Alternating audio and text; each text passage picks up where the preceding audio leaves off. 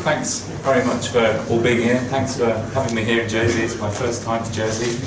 Um, as Matt said, I'm uh, the editor of probably the widest distributed Linux and open source magazine um, in the world, but that's also probably because uh, we give it away for free after nine months. Um, before that, uh, I was the editor of Linux Format, which is the biggest selling Linux and open source magazine.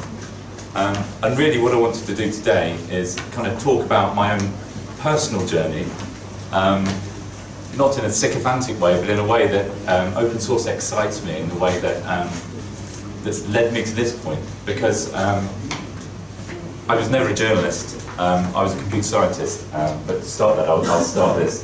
So Linux Voice magazine, I'll just say a brief bit about it. I'm not a salesman, but it's interesting in that we we all left Linux format um, at the same time, so four members of the team, um, and we crowdfunded Linux Voice. So we got $200,000 on Indiegogo to create an, an open source magazine. Um, this is despite the fact that uh, print is dead um, and that publishing is in decline. Um, and really what I think that says is it's, it's, the only magazine of its kind, it's the only successful magazine to have been crowdfunded and we've been doing it for over a year now. Um, you can buy us in all newsagents around the world. Um, and so far so good. Um, it's difficult, it takes a lot of work, but the point is I think that open source, um, it uh, invests people with, um, they care about their community and they care about where it's going and that's, that's really the emphasis for my talk. So um, it's only in a few parts, and I don't really read the things off slides. So what I'm going to do is start um, right at the very beginning. Um, these are kind of abstract. Open source is liberating. So I'm a child of the 80s.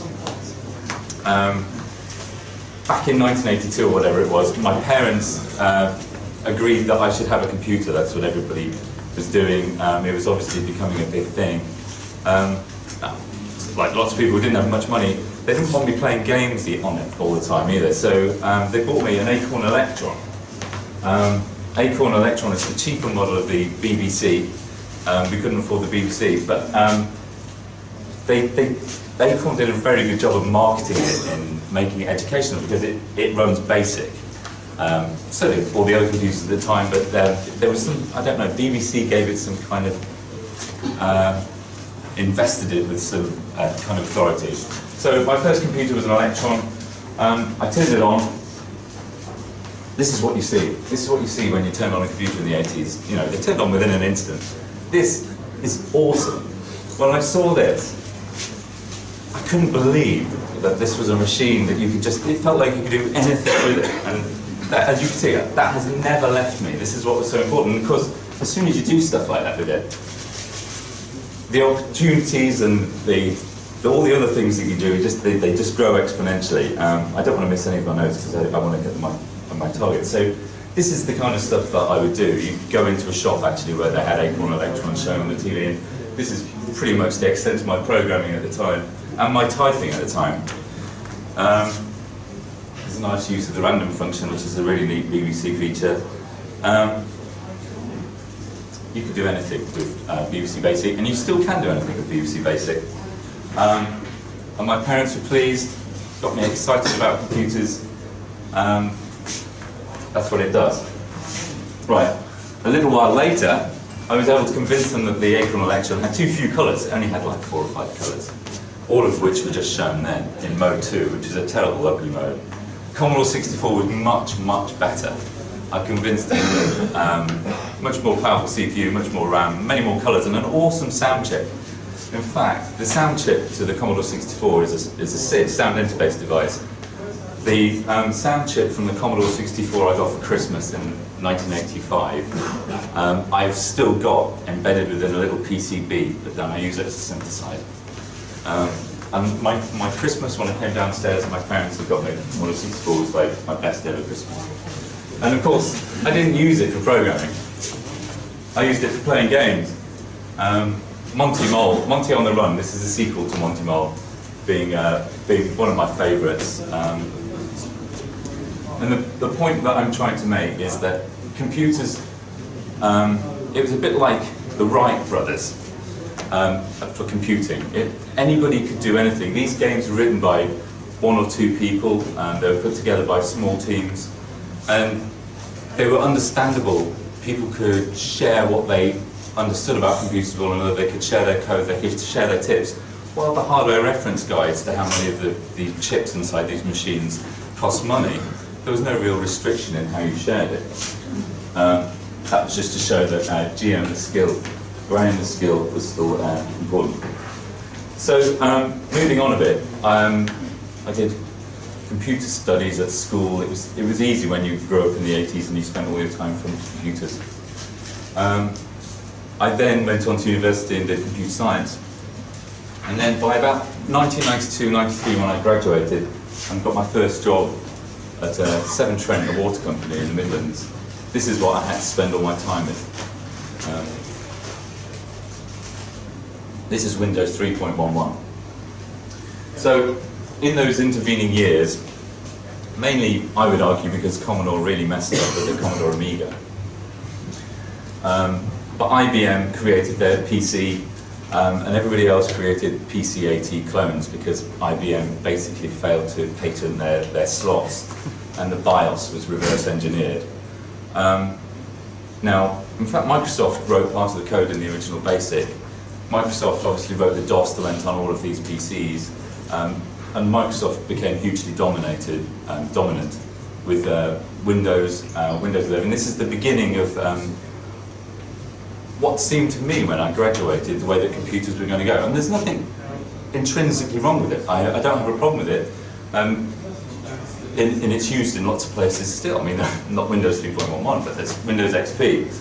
Um, and the point is that, for me anyway, there's a lot of excitement lost, and I couldn't really see my way forward in computing. In fact, I, I thought for a long time whether I would stay in computing, and, and, and in fact, for a little while I didn't. Um, I came back to Windows a little bit later, about the 95 time, and started carrying on with my programming with uh, uh, Visual Studio at the time and C, C++. Um, and then I hit another wall. Um, Visual Studio was an expensive piece of software, and depending on how much money you spent, this is something like 1995, 1996, um, it governed how um, liberal you could be in sharing your code. You could share the binaries or you could share the source code. But because everything was bound basically to Microsoft's APIs, you were limited in how you could share it. Now, I suppose you could see where I'm going, but I found that um, the antithesis of, of what I enjoyed about computing, and computing to me had been so vitally important. Um, and, and that was really something that led me away um, from computers. Um, now, at about this time, uh, this is the next chapter really, at about the same time, well, early 90s really, um, this post from Linus Torvalds was uh, put on uh, Usenet, on the Usenet group, um, where's it. It's still there. So Linus Torvalds um, started to create his own kernel, um, the part at the heart of a computer that deals with memory and, and deals with, uh, with processes. Um, this is um, such a modest, I don't know if you've seen this before, it's such a modest post. He says that um, it won't be big and professional like GNU. Um, and really this captured a lot of other developers' imagination. And the, the reason why this is successful and the reason why it went on to become successful is because there was a mechanism in place for Linus to be able to release his kernel or to release the, this is this is the nascent version of the kernel. The kernel wasn't that the 1.0 wasn't actually released for another year or so. In fact, we're only on like 3.18, 3.19 now. So I'm slowing down a bit now going back a little bit, the reason why there was um, something in place for Linus to be able to release the kernel was Richard Stallman. Now, Richard Stallman, um, he's an, a hacker in the old sense of the word, um, and he would argue the only sense of the word, in that he uses computers for fun and to do neat stuff. Um, and Richard Stallman was a hacker at MIT, that was back in the 70s, the best possible place to be if you were into computers. Um, and a bit like us in the 80s on our home computers, they shared everything they did, in particular because computing resources were so uh, restricted. they created a time slot mechanism, a time sharing mechanism, and they gave the source code to this to everyone. They gave the code that helps people run the same programs to everybody who asks for it. Um, in the very early 80s, um, Stallman, the company that owned the, the PC, the computers, upgraded the hardware and decided to go for a proprietary time sharing solution which stopped Richard and his colleagues sharing the code. And to Richard Stallman in particular, this seemed like completely the wrong thing to do. Now, Richard Stallman is, um, he's an inspirational person, but he can be very difficult. And even to this day, he doesn't budge from this opinion about free software. And a lot of us have a much softer approach. But the reason why I'm talking about it is because I think at the beginning it took that kind of, um, that kind of personality to push through such uh, important ideas. And those ideas are the GNU Manifesto. Is, GNU is a geeky joke. Um, unfortunately, because this is the kind of person that Richard Stallman is, GNU is GNU is not Unix. So the GNU is self-referenced. So it's a recursive acronym. Um, those of us who spend our time in open source and free software always have to explain this. And the GNU sound is used throughout open source software. Um, but it all stems back to Richard Stallman and his manifesto. Um, this is really a philosophical paper more than uh, a computer paper. Um, and really, it sets in motion the principles of um, studying, sharing, and modifying software, code. Um, so his manifesto was followed by the mechanisms to be able to do that. And that's uh, the license, the license that legally enacts those ideas that Stallman had. And Richard Stallman was able to create a foundation, the Free Software Foundation, and the legal framework and the licenses, and put it in such a concise and legal way with help pro bono from loads of other people, um, that they created a genuine way of publishing free source code um, that could be used by other people. Um, and there were a few caveats to the way it could be used. Um, these have changed over the years. This is version 3 of the license. Um, there was version 1 initially, version 2 is the version that Linus cho chose to release the kernel under. And it basically means that if you use the code and you modify it, you've got to release your code as well. Um, if you use your code and you don't modify it and you use it internally, you don't have to release it. Um, and, and, and there's these kind of restrictions, but it, it basically led to a cascade of people understanding that their code isn't going to be subverted. People are going to have have to release any changes they make to their hardware. And this is what I think really impassioned people to Linus's um, uh, Usenet posting. It meant that they could work on Linus's kernel. Um, other people could take the kernel, they could work in it, they could make it run on their hardware, and they could share their changes back, and everybody benefited. And I think going back to Stallman's original kind of mentality back in the 70s, um, it's, it's much more of a scientific idea that you have, you and I have an idea. Um, when we share our ideas, we both have two ideas. Um, this isn't um, kind of socialism. This is the this is a pragmatic moving things forward that we can all benefit from. Um, and even though Stallman might actually say this is closer to socialism, that's not how the majority of people took it, and it's not how Linus Torvalds took it either. Um, so, um, with the GPL, Linux kernel development exploded. Um, this is really the first big open source software project. This is in, the mid to late 90s. Um, and the reason why I'm explaining this is because it's at this point that um, it stops becoming kind of an idealism and, and starts becoming a practical, um, of practical use. I mean, it's at this point um, I want to mention Eric S. Raymond right now. He's another famous geek, um, quite difficult to deal with, like Richard Stallman. But he wrote a, a very influential book um, called The Cathedral and the Bazaar. It was basically a post and a presentation before becoming a book in 1999. And The Cathedral and the Bazaar was written after he'd watched developers writing code and contributing code on the Linux kernel, and how the quality of the kernel started to get better and better and better as people kind of adjusted um, their changes and people criticized uh, and people rejected changes. Um, And the cathedral in the cathedral in the bazaar is proprietary software. It's, um, it's an edict and it's a law given to people. Um, and that works for some companies, but the bazaar is the kernel development model. Um, and the cathedral and the bazaar is this turning point, I think, in, in the difference between um, it becoming an ideology and it becoming an actual, recognizable, different way of doing things.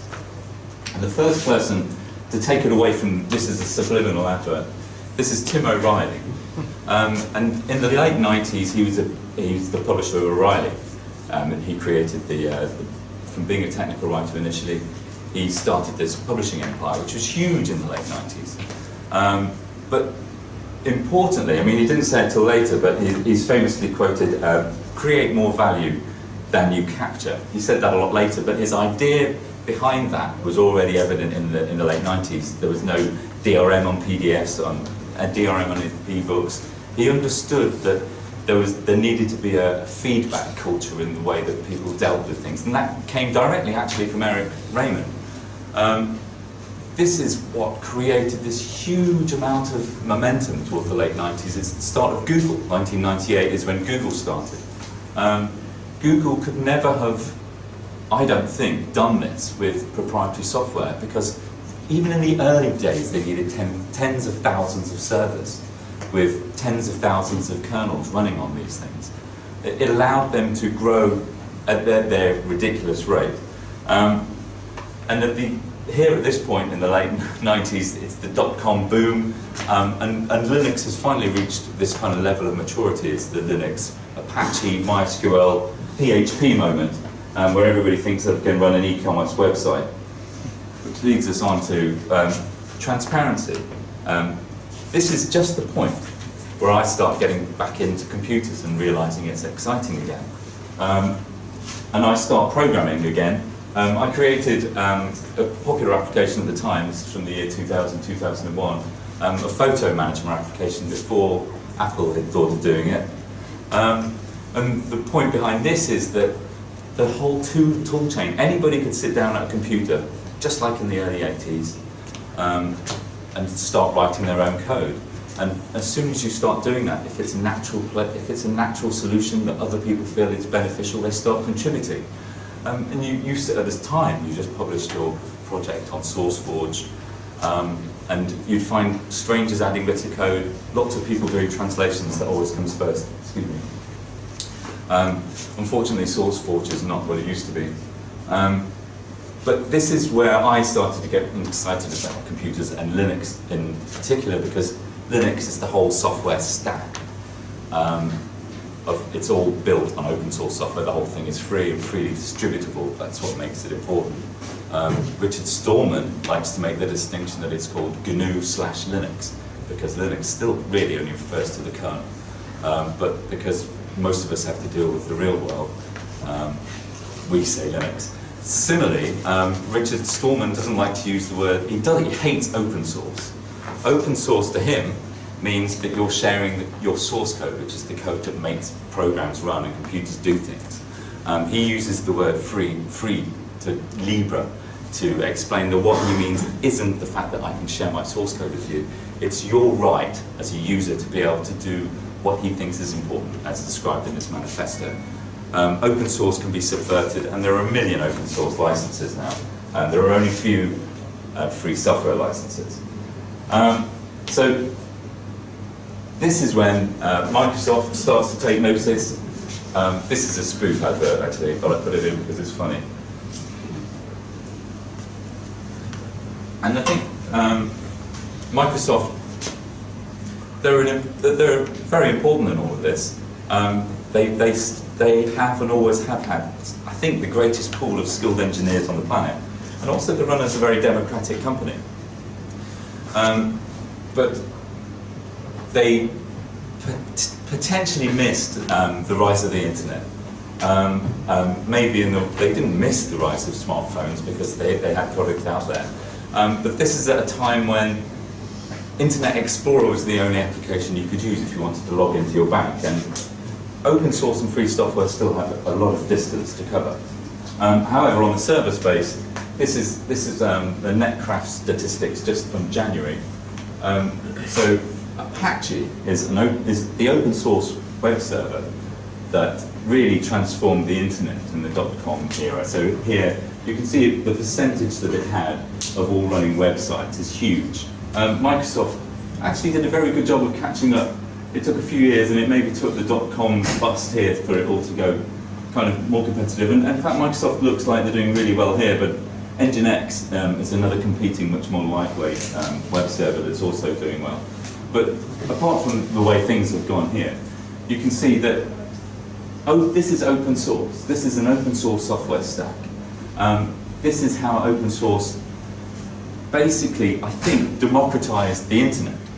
And for me, the internet is the future. There's not going to be, there's going to be a time in 10 or 15 or 20 years where it's just accepted. And it's very important that we have control of the internet through knowing the software that runs on it. And the only way of doing that is through open source. So this is the time uh, when uh, Steve Ballmer called Linux a cancer that attaches itself to intellectual property. Um, and this point here, I would say, is when things started to change. Microsoft do begin to get it. In fact, um, just last year, um, uh, uh, Satya Nadella loves Linux, loves open source. Um, and in fact, for probably six or seven years, I don't know the percentages exactly, but Microsoft has been a huge contributor to the Linux kernel. Not just, not in generic stuff, but actually in stuff to help people run Linux on Microsoft's cloud, which is what all this is about. The cloud is the future. So, but what's really important is that Microsoft is no longer against open source. It doesn't see it as um, the enemy. Because open source and proprietary software are too different, I think. Um, and then, then we need to find a way of making them complementary. It's not one taking over the other. And I think this is the point. Well, this is just last year, but Microsoft understands that open source is complementary. Um, maybe the real challenge here is Apple. Now, this is me with Linus Torvalds. Now, that is an iPhone. I'm interviewing Linus with an iPhone. And he literally tried to throw me out of his house because I pulled out an iPhone to try and record the interview. To Linus, the Apple and the iPhone is the big scare story, but I'm not talking about scare stories. Apple actually uses a lot of free software, and maybe like uh, Microsoft wouldn't be in the position it is. I mean, um, the networking stack, a lot of it, the, the, way that the computers talk to one another is, is open source software. They still use a lot of BNC. The core of, um, of our phones and our Macs is, is um, a different kind of kernel, but FreeBSD or NetBSD kernel. And it, enables companies like Apple to get a lot of initial momentum to build the companies, the big companies that they want to build. Um, and just in the last year, um, the UK government has recognised, and this is related, that the old world of relying on Internet Explorer or on Microsoft Word um, is gone. What we need to do is we need to be open and more transparent. Um, and this, this is key. So now documents that come from the UK government have to be in, in a PDF, which is an open format, despite originating with Adobe. Um, it's an open ISO format. Um, or ODF, which is the open document format standard that supports supported by LibreOffice. It's the native format of LibreOffice, which you can see running at the back there. LibreOffice is a fantastic office suite that's just as capable as um, MS Office in many ways. And what I find so exciting is that this is all happening on its own because it's the right way for things to go. Um, they recognise that you can't save documents to an SD card and then eight years later access them because Microsoft will have moved on with its formats. With PDFs and ODTs, that's not going to happen. This is, this is what open source exists. This is the problem that open source exists to solve. Um, and I've got um, some other examples of an implementation. Um, this guy's name is Peter Hofmann, and we visited him last year. He's um, the guy in charge of a project called the LiMux project in Munich, uh, in Germany. And uh, he has been migrating all of the city's um, computers to Linux, um, to a version of Ubuntu. Um, and the, he's been able to do this and save 10 million euros. But it's not the money, and it never is the money that I think is to do with any of these arguments. It's to do with Stallman's freedom. They're free to now not migrate and to never move again. They've got a working system. But also, they were free to keep their skills within the city of Munich. And this is how Peter was able to convince the city council to go ahead with this. This is actually surprisingly rare. What Munich has been able to do is create this wonderful IT infrastructure in supporting the council migrating to open source and Linux. And these are skills that are migratable. You can take them to lots of other places. Um, and they've been incredibly successful. They've just about finished. They're not even the biggest project. I haven't got a slide, but the uh, French gendarmes, they've, they're migrating 85,000 PCs. All PCs and police stations in France are going to be running Linux for very similar reasons. It's, it's cost, they, they save money in doing it, but it, it also gives them back control. These, these are computers that, you know, you could sit down in front of 3. Windows 3.11 and do the same thing. Um, and that really leads me on to my last chapter of my talk, which is, I think open source um, has become the default option. Um, things have changed a lot. Um, everybody lives, everybody's migrating everything to clouds and servers. Um, all development, a lot of development is done with open source frameworks. They start off open source frameworks as open source frameworks. They're on GitHub. Microsoft has its own GitHub account. So is the White House. Um, this is the way projects start, and it's the way that software development, I think, is recognized to be the natural place for it, where everybody can talk together and, and contribute. Um, um, and I think this is through uh, greater transparency, um, better security because it's a known given, um, and a much more agile form of development. Um, it's so much so that it's being used everywhere. I've got a, it's, it's used, I mean, Linux is in the middle of Android. Um, I've got an Ubuntu phone, which is released today.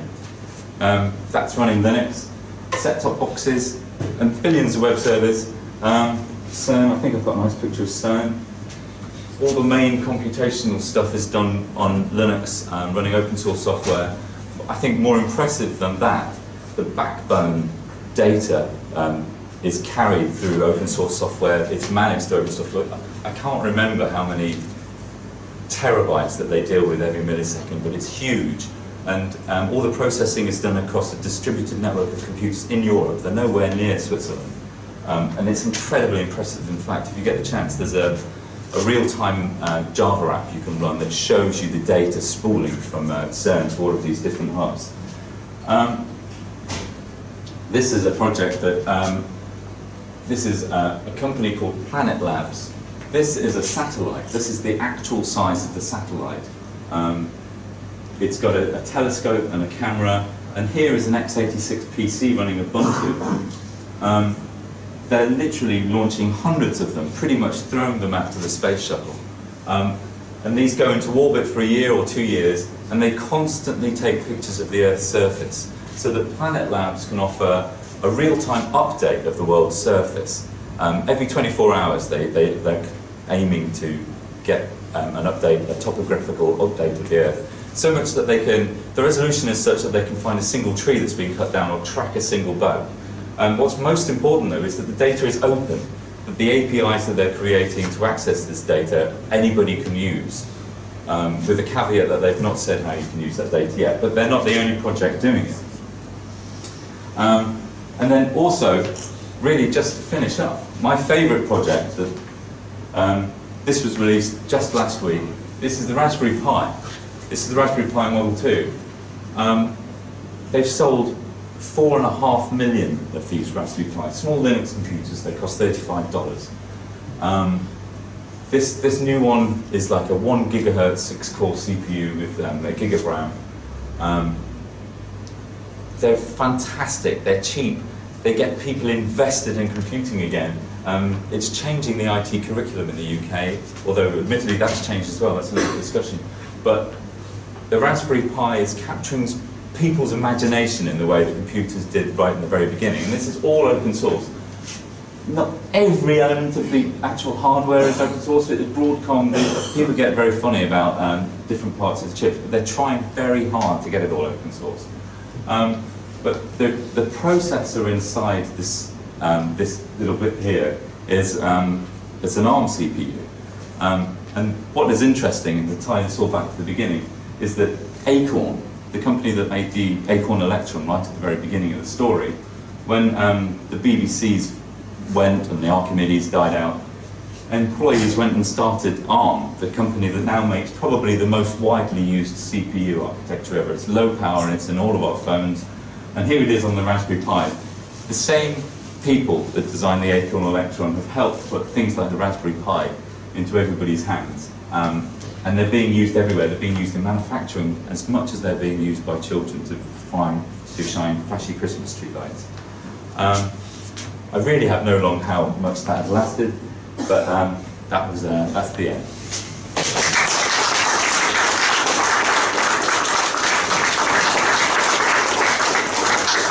I'm happy to take any questions if anybody has any, and I'm, I'm here all afternoon as well if anybody wants to chat with me afterwards. Yeah? Would you say there are any large-scale issues with open source in comparison to more traditional software? I mean, No, I think um, there are huge there are huge issues if you were to migrate um, an office environment to uh, Linux and open source, um, but not, and they're not always technical. Um, at one place I work, for example, they tried to replace uh, MS Office with LibreOffice, and it wasn't that uh, LibreOffice wasn't technically up to the job.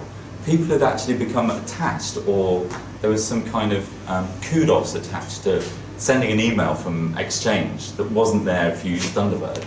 And people actually felt like their, their value at the company diminished because they were using open source. And that's something that maybe only time can cure, I don't know. Um, and in fact, the LiMux project, they, they don't tell people they're running Linux. They make it look like it's Windows. So um, people just carry on using it. And they, they change the icon to be an Internet Explorer icon. Um, but it, it's also a completely different ecosystem, so in, in a technical way, I think there's going to be lots of huge challenges. Um, yeah. But um, on the same line, isn't it more of a cultural thing rather than the actual technical details then of migrating the same sort of um, environment using? I think, um, I think in terms of the end result, the results can be better in a, in a more pragmatic way with open source, and that's when it should be used. Um, Microsoft, like with the, for this Raspberry Pi, for example, in the Model 2, Microsoft are doing a version of Windows 10 that's going to be free to use. I find it, I can understand why Microsoft's doing it, but I find it difficult to understand what the advantages it is in it, because it, when using open source on a Raspberry Pi, it's transparent. You're just using it to get a job done. You're using it to fire signals on the pins or attach sensors or to plug something in. The fact, it's, it's neither here nor there that you're using open source other than you can share what you're doing, you can talk about it. Um, that's, I don't think that's cultural, that's a pragmatic, better solution. Um, but that's different to the way that lots of developers think, or different to the way that projects may start. There are many important projects like Apache or um, like GNOME or that have started really as a, as a cultural response to people not liking proprietary equivalents. And that's still there. It's still a hugely important part of it. Um, and, and I think it's important, I've not talked about it today, but software conservancy and, and fighting against um, lockdown is, is an important cultural part of what open source represents. But I don't think that come, that's a trade-off between how good it is at doing its job either. I think it's the best tool for the job. And if you use it in a proprietary way, use it however you want to, that's the whole point. It doesn't matter if you don't subscribe to the cultural side. Yeah? Uh, you mentioned earlier about uh, Visual Studio being tied down to Microsoft. I was talking to a developer the other day who said uh, Microsoft have released uh, Visual Studio as open source now. I didn't know that. I know certainly since the late 90s their licensing has totally changed on how you can sh share and collaborate and they tried lots of different free versions but I didn't know that uh, Visual Studio was open source. This is second hand. Right, right. No, that's correct. They have open sourced it as well as the .NET. 5. That's right. Yeah, yeah. Cool. Cool. Yeah, I mean, the, the fact that they've um, open sourced .NET is huge um, because it's uh, for a long time .NET is uh, uh, it's it's the best way for programmers to access, access many of Microsoft technologies, and for a, a long time, and people in the open source community saw that as a conduit for developers to get locked into the Microsoft system. There's nothing wrong with it, um, but now that it's open source, um, now that a lot of people can start programming in uh, C Sharp or whatever without any kind of guilty conscience, it's a huge change, and it's a huge mind, change in mind shift for Microsoft, which I think is the more important thing. Um, Microsoft is a hugely important company. It's still got many tens of thousands of wonderful developers, and they're, they're trying hard to do things. It's great that they're there. Um, and open source, I think, complements that in its existence, and it's an important yin-yang thing. It's interesting that the .NET open source is actually using Xamarin. Yeah, yeah. Regarding Icaza's project. Yeah, and you know, a lot of people criticised him. So the, the, the guy that there was an open source version of .NET for a long time called Mono. This is I don't know if this is getting too geeky. But the guy that created this open source version was also one of the guys that created the GNOME desktop, which is one of the main desktop environments in Linux. Um, and this was like in the late late 90s. They actually got millions of dollars to create Eazel, which was a file manager. This is back in the crazy days of .com. So, and this was all open source. But he has always recognized, he's perhaps the ultimate pragmatist, I keep saying the word pragmatic, because he recognized the great benefits in .NET to such an extent that he created the open source version. Um, companies like Novell took the open source version and used it as an interface between their open source um, clients and their proprietary clients. And it served a huge purpose and that has been instrumental in Microsoft's changing attitude towards open source of .NET. Yeah. That's just like there with Microsoft in 2012 dropped off on its number of servers. Do you think that might be because of the Azure cloud? Um, People who are just building websites there, are not necessarily getting IIS, Um, so to speak. It- if, you, if you were scanning that, you wouldn't get IIS Yeah. necessarily. right? I don't know. I don't know. Um, I think I don't know how. Uh, they don't That say works. how many. They don't say how many It's based instances. on headers, Netcraft uses headers. Yeah, yeah. On the website, so if it doesn't matter whether it's in Azure or not, it's got an IO. it's But gonna- how they how they're actually using their Azure. I think twenty. I think Microsoft has said twenty percent of their processing is done on Linux through Azure. So I don't think. I think Microsoft's actually doing quite well. I, I don't- I don't really understand these figures. Or, or what, what's kind of these these things are major releases in their web servers and other kind of major stories. Um, I don't know how relevant that might be.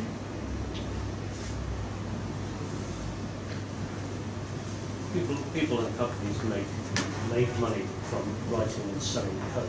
Yeah, If it's open sourced, uh, where would they get their income from? That's a, that, that is a vitally important question. Um, the most successful company in open source is Red Hat. Um, Red Hat is now a large company. It makes its turnover is, in, is billions, and they do it purely by support. So all they they're the biggest contributor to Linux. Um, they hire the most developers working on the kernel. Um, and what they do is it, all those changes are free um, they create an operating system called Red Hat, which is actually proprietary. It's, it's, um, the binaries are shared with their customers and customers only. But anybody is free to recompile their source code and create their own exact replica of the distribution.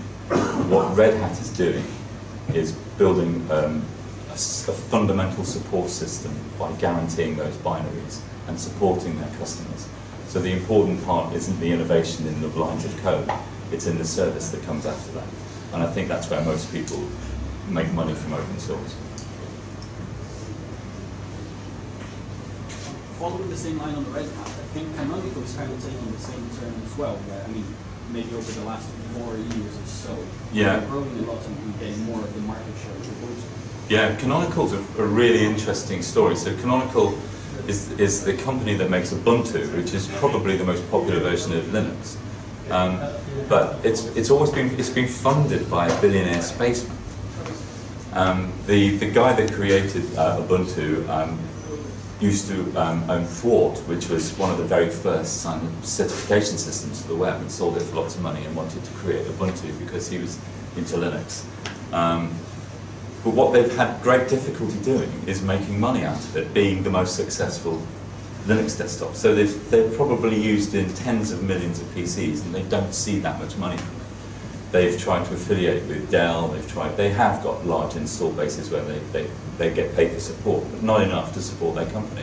And they haven't really found a great solution. The, the phone is their, is their next great hope um, because they can see how Android is done. But I think where Canonical is going to have success is in cloud because um, anecdotally at least, the, the majority of instances running on Amazon EC2 are Ubuntu. It's the most popular distribution of choice for people running cloud servers at Amazon. But Amazon doesn't give any money back to Canonical. In fact, HP is the only cloud provider that gives money back to Canonical for all of So, in a way, Canonical hasn't seen that the success of cloud and that they should have created some kind of mechanism. They couldn't do it because it's open source in charging people for their code, but they could have done it in such a way of providing a level of support or a, quality of service to HP or Amazon. Um, and they're trying to do that as well. In fact, Canonical, as well as their phone, they're doing really good things in creating kind of package managers for installing cloud applications, um, which is really on the cutting edge along with Docker. So they are doing some really good stuff, um, but they've yet to make lots of money out of it. I hope they do. Is that an Ubuntu phone? It is an Ubuntu phone released today. Yeah, have a look at it. Any other questions? Okay, well, you feel free to talk to me later on, and uh, thanks very much for your time, and thanks for having me.